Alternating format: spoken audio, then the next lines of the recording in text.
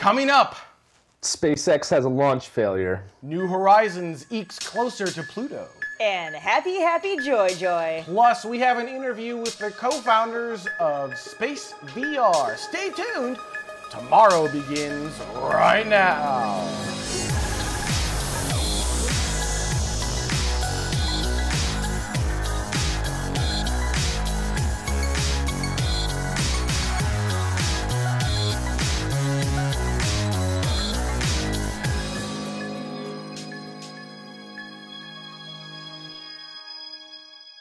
And welcome to tomorrow, episode 8.20 for Saturday, July 4th, 2015. My name is Benjamin Higginbotham. With me, as always, the beautiful, lovely, wonderful, and talented uh, Vor, is it?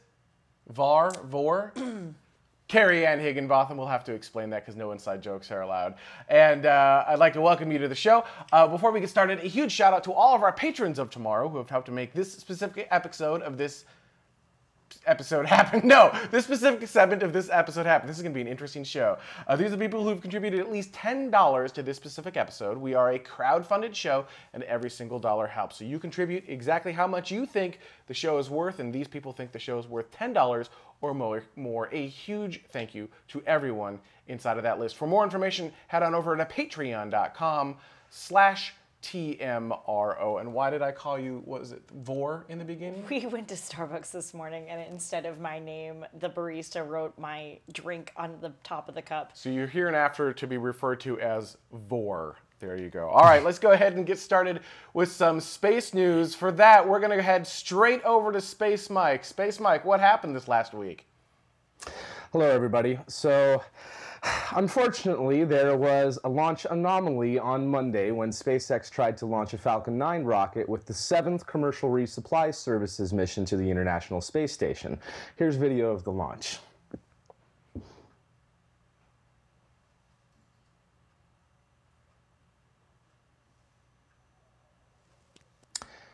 With this mission, there was a lot of uh, payloads on board. Uh, there was a lot of food and supplies, of course, and uh, some science experiments, including student experiments that were actually reflights from that were originally destroyed when the Antares rocket blew up uh, last October, and the cargo on that Cygnus freighter was all destroyed. So that really stinks for some of those students who have uh, those experiments who blew up yet again. And also, one of the other, the, probably the big payload on this was an international docking adapter that is a new adapter that would be placed on top of the old PMA adapters or pressurized mating adapters. Those were the docking ports that were used for the space shuttle to be able to dock to the space station.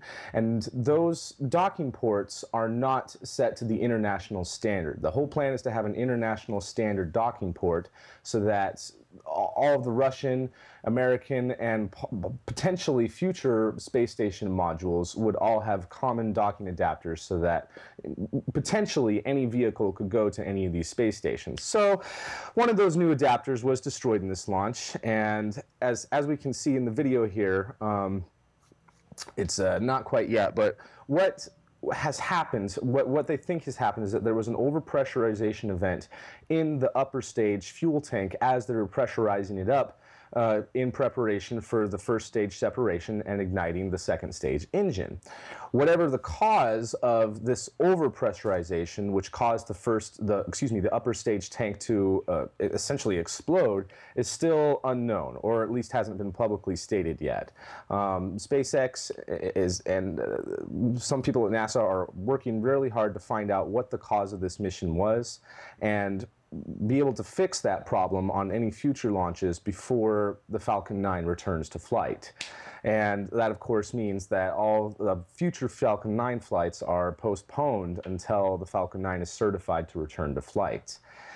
So, it, it, although this is bad news, and there might be some critics and detractors, especially in uh, government, who will use this to, for their own purposes, and there's the event right there where the upper stage uh, uh, exploded. Some people think that the Dragon capsule did fall away from, from that. It's not clear. There's that weird shadow that possibly looks like the Dragon capsule, but it's unclear if that actually did separate from it. They did receive signals from the Dragon capsule for uh, anywhere from several seconds to uh, a few minutes after this event. Um, and it's uh, SpaceX has said that they are going to recover some debris. I'm not 100% on what they have recovered, if anything, yet. And although this mission, you know, although it stinks to have it fail, SpaceX is in a really good position right now. They apparently have plenty of funding. Uh, they have lots of support from NASA, and they will move forward from this. They have had lots of launch failures in the past when they were trying to get Falcon 1 going. They're no stranger to accidents like this, and they will move forward. They will be able to recover from this, get the Falcon 9 flying again, and continue their backlog of, of missions that need to be launched. And I'm really hoping for everybody at SpaceX and uh, send my condolences and all my good vibes to make sure that the, everyone over at SpaceX is inspired and is able to identify the problem, fix it soon, and get back to flying and get back to business. So that's what happened with SpaceX this week. And uh, um, everything will be okay. I still have a little bit of depression about it, but everything will be okay. you know, to make things even worse, it was Elon Musk's birthday that day, so that uh, not a very good birthday present. All right, thank you, Space Mike. Uh, up next, uh, China has sent up a remote sensing satellite. This one was interesting because it was actually not announced in advance. Uh, so we do have a little bit of footage of this. This happened on June 27th. 2015 at 6:22 Coordinated Universal Time. Uh, this was a Long March 4B rocket. This is sending up, uh, I believe it's Gaofen 8, which stands for high resolution in English, or at least that is that is what some of the sources on the interwebs said it stood for. Well, if it's on the interwebs. If it's on the interwebs, then you know it must be true. The interesting thing is that China basically had planned for Gaofen 1. Uh, again, if I'm pronouncing that wrong, I'm really sorry. I, we all know that I suck at these pronunciations. Uh, but um, if we go for, they have 1 through 7 and eight was kind of unplanned, so it was unknown as to yeah where that came from or what that was or why that did that. So uh, the main goal of this series of satellites is to do Earth observation. So it's kind of for disaster relief and things like that. Mm-hmm. Normally we would follow this up with you know, and clearly this is a military blah blah blah blah blah because of his inclination, but this time. We're not actually, it doesn't sound that way. So it is probably just another extension of the existing satellite. So there you go. Yay! Mm-hmm. So go China. Unannounced launch. All right, next up. Uh, a totally announced, totally like fingers crossed sort of situation here. Uh, Russia launched a cargo ship to the International Space Station and did it. Like it's it's so. Well, it was a big deal because we had three launch failures, not in a row. Everyone's like, in a row. It wasn't in a row, It wasn't in a row. but it was- CRS-6 was in between there. three out of the last seven, which is just horrible. There you go. Here's the Russian launch coverage. And I always love how it's like, forever the engine's firing. You got to make sure it's it's ready to go. You know, you, Donna, we should have audio you don't want these to clips. go Do you not have audio you're on not going. He, he says no. of the 60 Oh, there we go. Resupply vehicle en route Of course, now I don't want to hear his audio anymore. Keep going, Carrie This is a Progress M28 M60P spacecraft from the Baikonur Cosmodrome in Kazakhstan at 0455 UTC. Uh, this previous Progress failure due to an issue of the Soyuz U upper stage, but they've implemented some upgrades and moved up the launch that was originally planned uh, for August to this July. This is carrying uh, 1,940 pounds of propellant to the lab, 160 pounds of oxygen, 926 pounds of water, and 3,133 pounds of crew supplies and research equipment. Losing three out of the past seven, of course, cargo missions have cut into the reserve, reducing stockpiles from about six months to four or less. But with this progress, uh, resupply and the Japanese HTV H yeah HTV cargo ship planned in August, uh, they should be stocked throughout the rest of the year. As somebody else tweeted out a little bit earlier this week, this is probably the most watched progress launch, and Ever. we don't even know how long because I, I think everyone really just wanted this to go. Uh, it's it's been kind of a, a sad year. Uh, in, in terms of crew resupply missions. Uh, but yeah, no, it went. It went great. It was beautiful. It was a perfectly clear day, as you can see. So happy, happy, joy, joy all the way around. really? Did you just happy, happy, joy, joy us? I did. All right, moving along. uh, we'll throw it back to Space Mike for uh, some more SpaceX news. Space Mike. Before I move on to the other SpaceX news, I did want to uh, interject on uh, the Progress launch. Uh, the one that failed actually launched on their new version, the Soyuz 2.1A, uh, and that had a new upper stage that ha had the failure. The version that launched on Friday was the old Soyuz U version, which the Progress has launched on forever, ever since the Molniya rocket, and has been the most reliable of the Soyuz rocket family. So, well, I apologize. My information was wrong, but thank you for the correction. That's awesome. Yeah, no, I just wanted to make sure we we we, we got that right. Sorry. No, perfect. Anyway, uh, on to SpaceX news. So SpaceX and NASA have um, unitedly agreed uh, that they're going to push back the date of the next launch abort mission. And with that launch abort mission, they would be launching on a unique version of the Falcon 9 that actually only has three engines, similar to the Falcon 9 Dev 1 vehicle. And this actually, this decision was already being talked about before the CRS-7 launch failure. So uh, this is just something that they have were already planning on because they want to do more preparations and uh, be able to do more work on the Dragon capsule and this special Fal Falcon rocket to be able to make sure that they can get as much data as possible from this launch abort mission to make sure that they, you know, can pass all the qualifications and requirements that NASA and the FAA and everyone else involved uh, has to allow SpaceX to be certified to start launching crew. And so I think that that's as much as I hate to have any sort of missions be pushed back even further and be delayed even further, I think it is wise that they want to be able to get as much information as possible and add more sensors, add, uh, it's not exactly clear exactly what changes they're going to be making to both the Dragon and the Falcon, but uh, from from what information is available from the uh, press statements that NASA has put out is essentially that they are just trying to what I took from it was trying to add more sensors for both the Falcon 9 the special version and the Dragon capsule to be able to get as much data as possible. So uh, it's unclear when that mission will be pushed uh, or when that will actually happen. They were in the talks of trying to agree on when might be a good time for that to happen. And even though this unique rocket is not the same as the Falcon 9 rocket, and the issue was with the upper stage anyway, this is just a first stage tank with three engines, that's probably still going to be pushed back until uh, some of these other problems are, are done, or at least get some sort of special certification to launch this unique rocket before the Falcon 9 returns to flight. So uh, again, this is just a wise decision to make sure that they can, when they actually do do the test, to get as much data as possible to be able to move forward with the commercial crew program. So that's uh, what's going on with uh, that SpaceX news, and uh, I'm going to pass it back uh, to you guys about uh, some new horizons. Oh, doing his segues. We love Mike and his segues. So yeah, some happy, happy, joy, joy news, as Yay. it were. Yeah, absolutely. New Horizons is getting very, very close. Uh, July 14th is its pass by, like its closest pass by point. We actually have some uh, an, a little animation of some higher resolution footage of Pluto. So there you can see uh, Pluto. You can actually there are four spots. I don't know that you can see it in this particular uh, animation, but there are four spots on the bottom at its equator. Yeah, Space Mike's saying you can see it a little bit. You can see it on kind of one of the circles as it's circling around. You can kind of see those four spots kind of show up. We don't know what those are.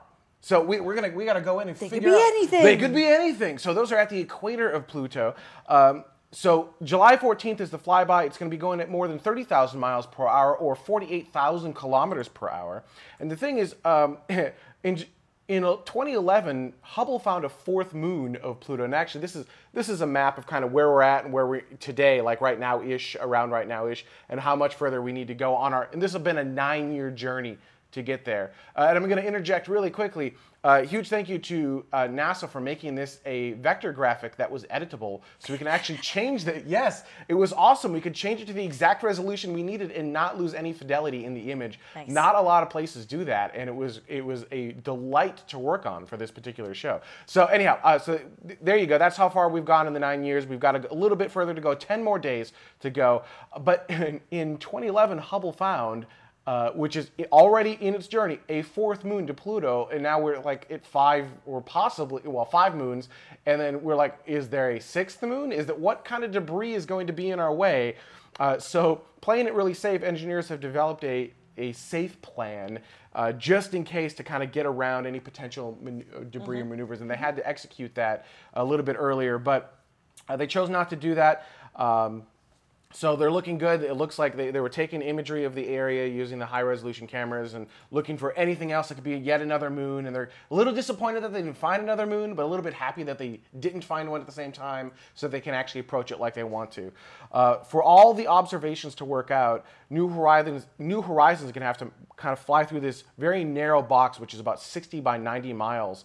Uh, and it's got about 100 seconds of ideal time to move through Pluto and then into the Kuiper Belt. So that's uh, that's a very long journey for a very short amount of time, but it's going to be exciting because you know, like I said, 10 days away.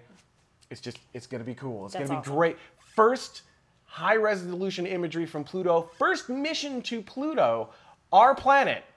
I, yay, I'm saying Pluto's a planet. I'm going to say Pluto's a planet. Pluto, our planet. It's it's going to be cool. So there you go. Uh, next week's not next week's show, but the week after that, we should be able to come back with a lot of that data. Yay. Two weeks away. Yeah. All right, and finally, So Houston is going to have a spaceport. Isn't that exciting?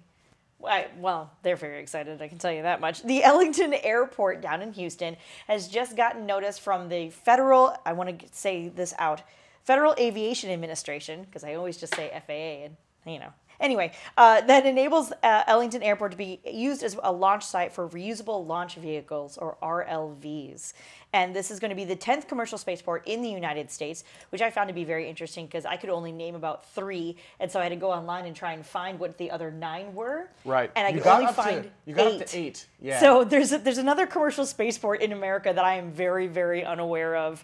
Uh, the Higginbotham spaceport. uh, yeah, I guess that's what you've been doing in your off Spaceport of time. tomorrow. Now I understand.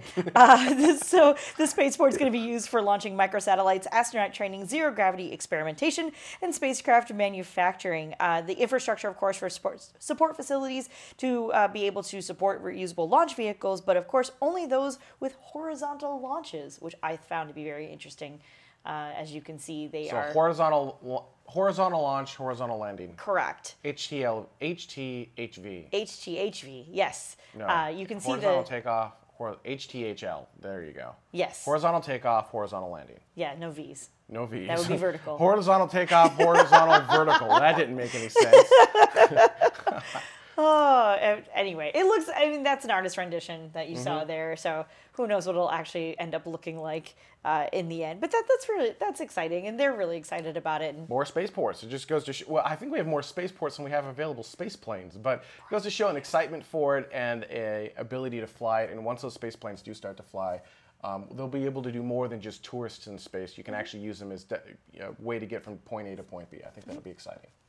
All right, we're going to take a quick break, and when we come back, we're going to be talking to the co-founders of Space VR, putting virtual reality reality in space. Stay with us. We'll be right back.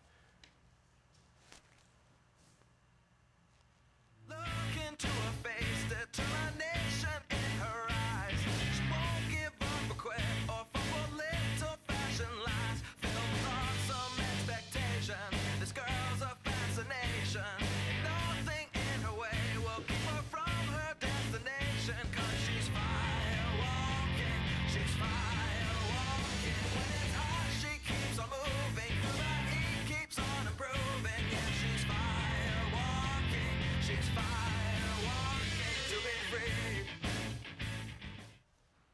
And welcome back to the show. Now, before we start talking space VR, I did want to give a huge shout out to all of the patrons of tomorrow who've helped to make this specific segment of this episode happen. These are the people who've contributed at least $5 to this specific episode. If you'd like to add add to that and help crowdfund the show, you can do that by heading over to patreon.com slash TMRO. All right, I'd like to uh, welcome both Ryan Holmes and uh, Isaac Desouza, DeSaza, I hopefully I said that correctly. Ryan is the CEO, co-founder, and chief designer of Space VR, and Isaac is the co-founder and CTO of Space VR. Gentlemen, welcome to tomorrow. Uh, tell us, what are you planning to do with space and virtual reality? Initially, we're intending on putting a virtual reality camera on the International Space Station and uh, negotiating to get that camera uh, to be live so people can experience all things in space uh, through virtual reality live. So, what is the virtual reality camera? That's not like a, you can't just go to Best Buy and go buy a virtual reality camera, although that would be awesome. Uh, so, uh, what is your camera? How are you doing this? It did start at Best Buy, actually. Um, it, it's a collection of modified um, GoPros that are hacked together um, with a hardware genlock so that they can all start recording at the same time. So you've got a bunch of actually. I think we have a picture of one of your prototype units uh, sitting there. Dada, if you've got that picture, that would be awesome. Uh, maybe not. Uh, uh, so I think we've got the. Uh, uh, you've got them like in a circle, uh, right? And then they they they kind of just look in different directions, and then you trigger them. Here you go. Here's here's the shot of that. Uh, that's not what you're actually sending up to space, though, right? I mean, it's going to be a little. Not at all. Yeah. but it's, it's generally like that, right? It's a bunch of GoPros, you're sending it up to space, and then what? And then, well, that's Well- pretty hard to get that. yeah. Well, the details can get a little tedious, but uh, the basics of it is that this is in fact much more than just a camera. It's in the, it's a, our first spacecraft we're putting out there, and so the camera will capture the footage. It'll do some onboard stitching, and then it'll pass the images back down to us. And then on Earth, we'll be able to have a perspective from space in virtual reality. And once we do that from the ISS, the plan is to take it everywhere else. So you're going to put this on the cupola in the International Space Station, is that correct? Or are you going to where, where's it going to go in the ISS? So right now, the tentative plan is that it will be, um, it will have a, a storage place, and that uh, it will be taken out and used repeatedly, and then uh, put back in the storage place. So, but it's it's. I mean, you're not going to want to do VR of the storage space, right? So what what Yeah, you, you take it out and you just move it around the space station. Yeah, And it's then- like any other camera. And we're definitely hoping to capture lots of footage from the uh, from the cupola. And then what's the so what's the business plan here? How, do, how does this work, right? So sticking a camera up on the International Space Station is neat and cool, but how do you actually make money around this idea? Yeah, um, we would we would uh, we're looking for something similar to what you do, just a subscription based model with um, people that are really passionate about space. Um, perhaps uh, we're going consumer and enterprise, so um, get contract with schools and such, so kids can experience all this content being developed on a monthly basis. And what happens after the space station, right? So you go up to space station, you've got this VR camera, you're moving around, you get these cool VR views. Then what? Uh, are, is it really only for station? Can you put it in other places? Can you put it on, say, rovers that go on Mars? Can you put it on the GLXP rovers that are going to the moon? Can you, can you do any of that cool stuff? For sure. Actually, so our, our plan is to really go everywhere with this. And uh, our cameras are sort of specifically designed to survive all of those extreme conditions, you know, outer space, you know, surface of Mars, uh, the radiation, the heat, all of that stuff. Um, so we're starting off on the ISS, and it'll be sort of our where we get our wings. And then from there, we're, we're hoping to go everywhere. Uh, we're also been reaching out to teams for the Google Lunar X Prize, uh, see if they'd be interested in having our cameras aboard their rovers too. Uh, essentially, if something cool happens in space anywhere in our solar system, we want to have a space VR camera there to capture it for everyone. So, uh, to Wicked has asked, uh, will this be pre-recorded only, or are you going to have live views from space? So initially, it will be pre-recorded while we work on the live pipeline. Uh, live is not a trivial matter, but it's something that we're very confident we can do. Uh, we also had another question from the community. This is from Patrick. This was uh, e- uh, Twitter tweeted uh, in. I'm not sure how to make that go. Uh, tweeted in earlier. Uh, asks, what type of tasks do you hope can be accomplished with VR gear in space? For example, a control of a robotic arm on station. You know, what would you be able to do with this? Um, you can really do anything you can imagine. Like one of the big things that we've been uh, looking at in terms of uh, real applications for space VR is teleoperation. So in space, the problem is, you know, you want to have your camera facing everywhere, but every time you move the camera, there's like forces associated with that. And so a VR camera is really special because it uh, doesn't require the operator to control a camera either. There's no active control system. Uh, and so there's all kinds of neat things that you can do, um, as well as have an experience for the operator that's more organic. So he feels like he's actually there.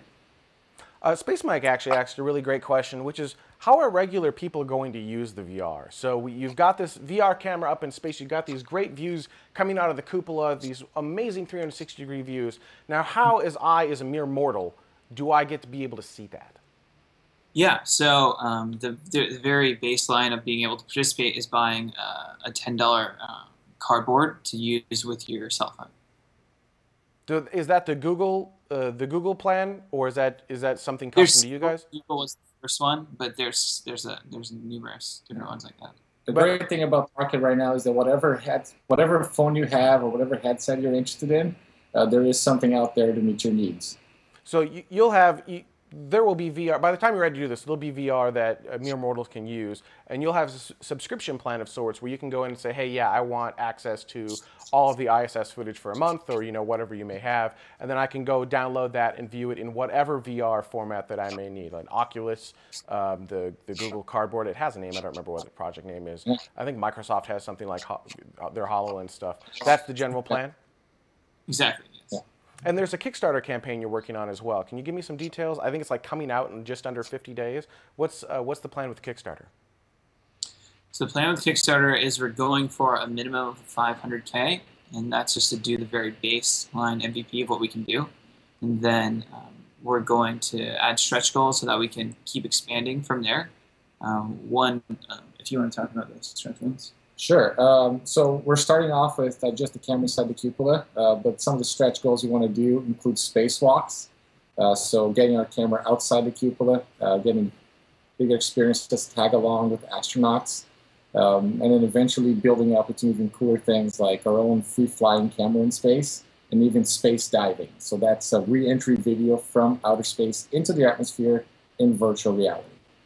So we're kind of hoping to have some of those cool experiences out there uh, and just open that up for, for people to consume.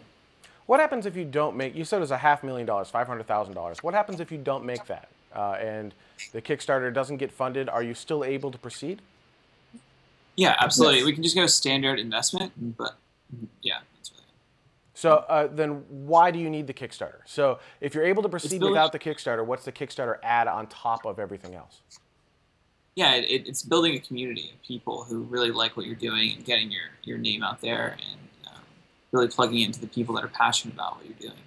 So there are a couple questions in the chat room. I'm going to consolidate them all into one, which is how does this differ from something, say, like the high definition Earth viewing experiment that they've already got up on the space station, or there's even a camera that sits on one of the um, um, uh, Dish Network satellites that actually gets the entire Earth. What's different about that than, or you know, taking that and just dropping it into a VR hel- hel- helmet, is to opposed to what you're doing? Well, the uh, I think the big difference for this is that that footage was never meant to be captured or consumed from the perspective of a person. Um, our camera, first of all, does 360. Um, and I think an even finer point is that this camera is meant to replicate what it would be like if you were in space. So this is not a camera sending down footage that's been manipulated. This camera's been specially calibrated for about the size of a human head to capture the footage from the perspective of a person. And so this camera will have you feeling like you are in space, not you are watching space. Uh, Yeah, how- it's the difference of watching a YouTube video and being there. How, how real is this project at this point, right? So we saw that you have that uh, the kind of the development hardware. How close are you to actually being able to fly that and put that up on station? Um, we're working really closely with uh, NanoRacks. Uh, Jeffrey Manber, the CEO, is on our advisory board, and he has given uh, us approval that we have everything necessary to, to do this now. And in terms of our technical development, our camera is on schedule for being completed uh, for delivery by mid-August to late August. So our hardware is also coming along nicely. And uh, one question that's kind of come up a couple times, uh, Citizen 09 has asked it recently, is what about the privacy of astronauts? So you've got that 360 degree view, you're in space, it's very easy to get uh, what would be considered like an upskirt shot. How, how do you protect against that? Um, we, we just have to do what we have to do. Yeah. Uh, in 360, editing out some of the astronaut shots is actually quite easy. So a, a small delay will enable us to, if they come in shot, we can edit them out. So we respect the astronauts' privacy immensely. Uh, it is their workplace and their place where they live. Um, and so without their consent, they will not be shown on camera. That works for your on demand content. Have you considered what you're going to do for live as well? Uh, well, live will always have a, a built-in um, delay. Um, it's just a necessity out of it. Um, but I think the bigger part of it is that we can do um, sort of like notices with the astronaut. If the astronaut is to come by, we can, even within a few seconds, uh, switch over the camera so that the astronaut doesn't show up in the VR shot. Uh, where can people go for more information? I know you got your Kickstarter campaign coming up. Uh, you've got uh, some social media accounts. Where can people go for more information on what you guys are doing if they're interested in your project? Yeah, you can uh, sign up on spacevr.co or you can follow us on Twitter, and we're pretty active on that, and uh, Facebook as well. Well, good luck. I think it's going to be really awesome. Uh, I'm excited to see some virtual reality space shots from the International Space Station. I'm actually, I think, even more excited to see something if you team up with some of the Google Lunar X Prize teams. I'd love to see uh, the rovers with a VR, like 360 degree camera. Uh, just roaming so you can look anywhere you want on the moon or on Mars or wherever it may be. I'm, I'm excited to see what you guys are able to do. Thanks, Ben. We are too. All right, awesome. Thank Thanks, you guys for taking time out of your Saturday. Uh, we're going to take a quick break, and when we come back, comments from our last week's show. Stay tuned. We'll be right back.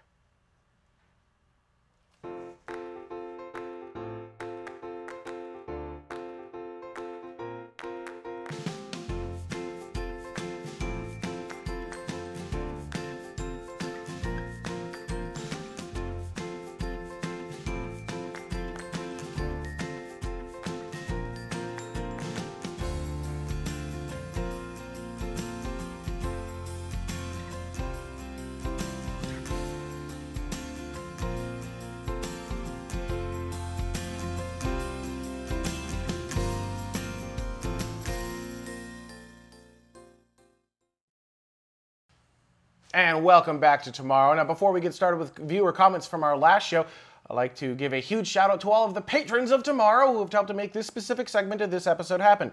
These are the people who've contributed at least $2.50 or more to this specific episode. Now, at this level, they're also going to get an access, uh, early, access to After Dark as soon as it's made available, uh, and you get a couple of the cool things like your name of the show and obviously uh, all that other fun jazz. But wait, there's more. We also have our Patreon subscribers. These are people who've contributed one penny to one dollar. I'm sorry, two dollars and forty nine cents. So as little as one penny gets your name in the show.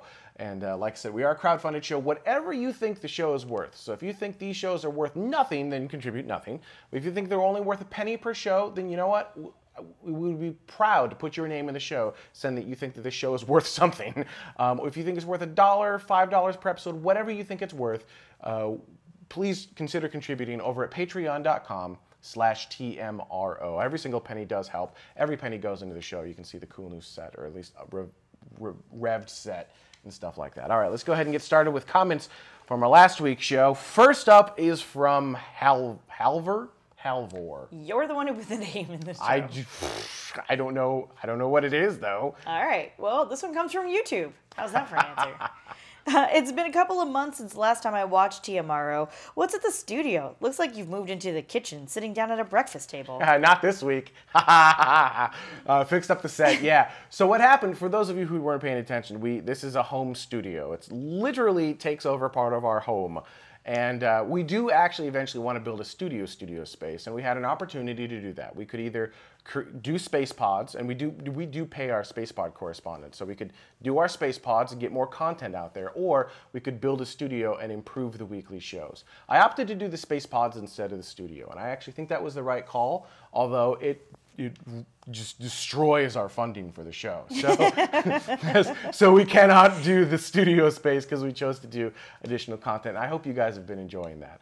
Um, uh, so when we moved, because we moved fairly recently, the entire control room and the set and everything had to move with us. And before we had these long, huge walls, and we would just we'd move you know things away from the walls, and that's what we would use. The new place does not work that way. We have giant windows everywhere, smaller. I mean, it's still large. It's nice for living. It's, it's, It's kind great of for living. for a studio. horrible for a studio space. So uh, a huge thank you to uh, Tim, to Dutta, uh, to his wife Kat. I can say wife now. That's great. Uh, and to, uh, to for allowing me to steal you yesterday, all of Friday, and we rebuilt the entire set. Uh, so uh, it looks similar, but is actually quite different. The foam doesn't fall off the wall anymore. There are no more seams. we got the tables in place. We have cool plants. We'll talk about those in After Dark. So uh, yeah, we always are working on improving the improving the show, improving the set, improving all aspects of it. The the content, the entertainability of it, um, all of it. And, One uh, day we'll be replaced too, I promise. Probably not that far in the distant future, too. we do need better content. All right, all right. Moving along, moving along. This one also comes from YouTube from Nico's Mind. Uh, Nico's mind. Yeah. Uh, do we need governments for research? Short answer is no. For one, government contributions to research is still extremely mi- is still an extreme minority. Sorry, considering how that compounds over the years, the government has done next to nothing. Yeah, I mean, uh, there's also an Amazon link in there that was really hard for you to read and type out. You're welcome, internet. Um, Can we make it clickable? no, that's the the worst part. I can't. No, yeah, YouTube doesn't let you do that. It's really silly. Oh well. Um, I have not read that book, but that is an interesting idea. That um, and actually, um, another one was the Bill Gates Foundation has done more for its uh, some research. Uh, Mm-hmm. I don't remember what it is than like all of the governments combined. Yeah. Uh, so yeah, I think it can be done in privatized uh, space or private areas, but you know you do still have to make money there. Mm-hmm. So uh, I thought it was an interesting concept and an inter- interesting comment, so we added it in the show. All right, next up, Comes from Wilby, also from YouTube. Will be. Yeah, Wilby. That's what I said. Will be. All right, Goodness. Will. We're better together. Story of the human race right there, followed by our complete inability to actually unite. Weird paradox, ain't it?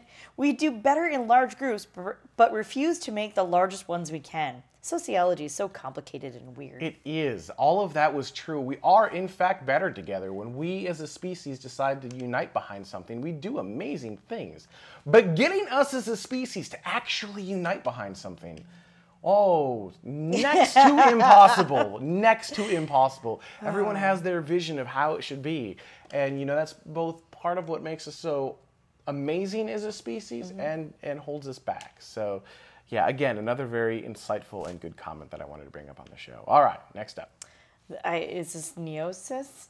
Wait, Neosis. Neosis. Neos. Oh, I like this one because I got thank first off, thank you. I got a T, uh, TLDR, too long didn't read. Yes. Like single paragraph up top Yes. that made it really easy for us to insert it into the show. Yes. If you're interested in this comment, head on over to YouTube, search for the username on our last episode 8.19, and there's actually a lot more content that goes with it. But this was a great way to summarize it. I, I think this was a because I was whining about you know blah blah blah YouTube put it in 140 characters. You will get to speak in a second. 140 characters. This was a great alternative to that. So all right, there you go.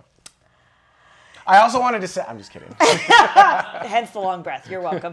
Neosis from YouTube says, too long didn't read. Neil deGrasse Tyson, slightly stretching the truth to have a bigger impact, hoping to get people excited for NASA will increase the budget. That in turn will speed up the whole Mars endeavor. Yeah, you know, and, uh, and the longer comment kind of goes into his goal isn't necessarily to put down private space, but to build up NASA and hopefully get more funding for that. You know, he kind of started that half penny on a dollar thing, and Right. the whole penny for NASA thing kind of spun out of that.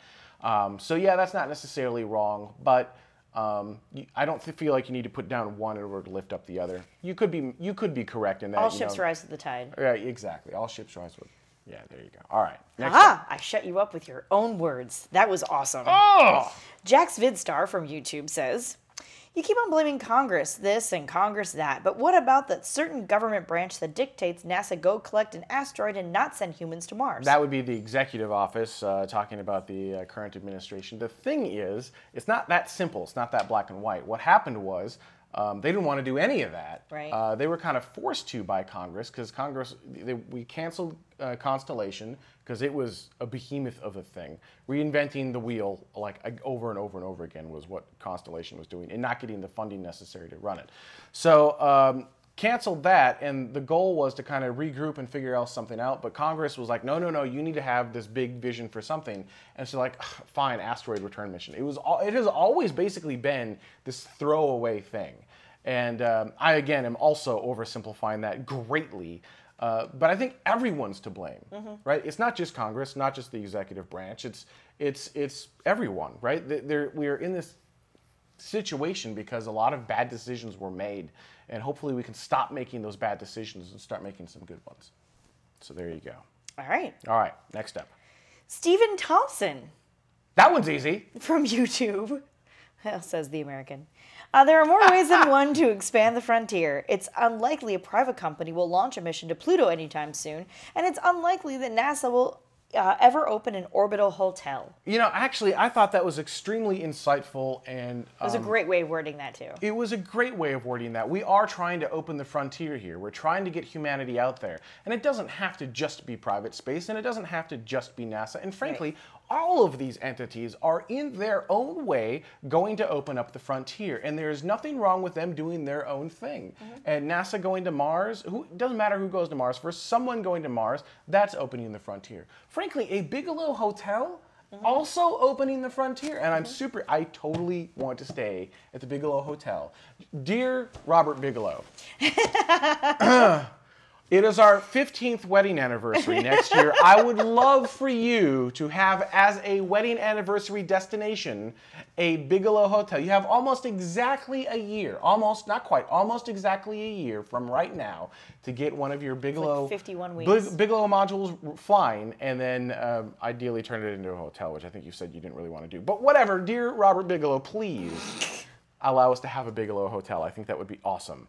I would love to stay out in space. Has to have a window though. Wouldn't it suck if it didn't have any windows? It would be hilarious when you think about it. You'd be like, like, I'm in space, but uh, no overview. ah, the, the pictures would be crap. Just look like us jumping. Yeah, well, although should I just think, do that anyway. I think I think he's really waiting on the launch providers. He needs a large. He needs like a Falcon Heavy or a Space Launch System or a really big like thing to launch his his modules, stuff. his bigger modules. All right, that's our show for this week. I'd like to thank everyone so much for watching. For those of you watching live, After Dark is up next. If you're a Patreon Plus subscriber, you'll have access to that in your Patreon feed as soon as it's made available. For everyone else, it'll be available in a few weeks.